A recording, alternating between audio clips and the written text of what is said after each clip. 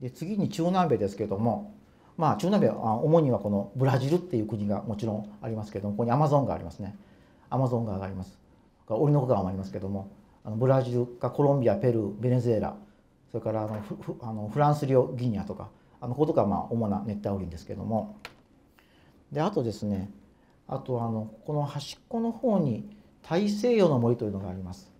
あの今はその都市化が進んでいて例えばリオデジャリオデジャネイロっていうのはこの大西洋の森をあの切り開いてできた町なんですけどもあのそういうのがあってここには非常に変わったあの動物がいてあの皆さんご存知例えばライオンタマリンっていうのをあのご存知かもしれませんけどもあのそれはライオンタマリンはここの大西洋の森の住人です。あとあのこれムリキっていうんですけどもあの非常に一番大型のあのサルなんですけどもで彼らもこの大西洋の森に住んでいて今その都市化が非常に進んでいるので彼らが一番絶滅に瀕しているわけです。ですね。それで南米の森っていうのはですねあのアマゾン川がこれあのあこれ間違ってますね。高水位ですね。あの水位が高い時ですね。あの今水がほぼ満水なんですけどもあのこういうふうにまあ木があのだいぶ水に埋まってるんですけどもこれがずっとこんなふうにあのこれボートで行ってますけどもずっとまあ一面このなんかあの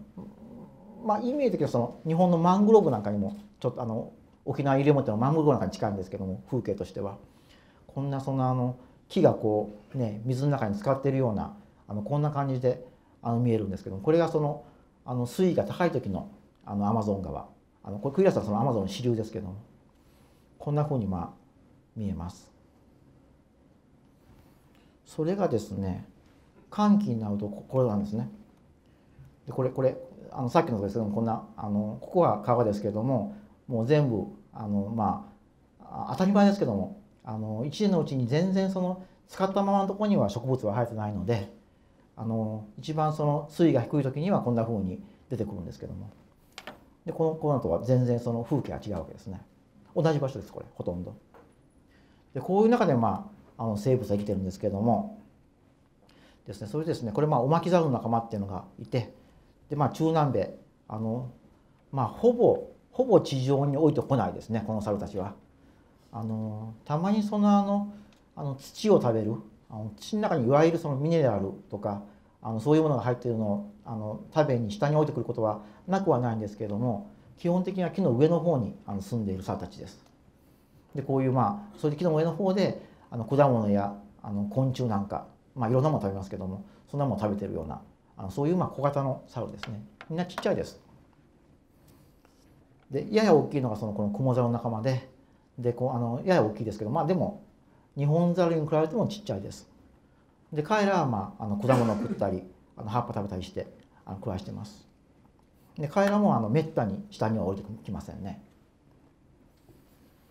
であるいはあの種だけ食べるっていうやつがいて